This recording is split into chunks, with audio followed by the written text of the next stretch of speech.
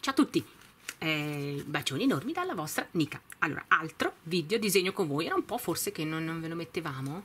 Non mi ricordo. Talmente tanti video che poi divento matta. Già lo sono. Allora, eh, appunto, come vi dicevo, un altro disegno con voi. Non vi dico cosa disegnerò. Adesso non so neanche se lo scriveremo nel titolo, se lo vedete nel titolo, non lo so. Fa niente, comunque.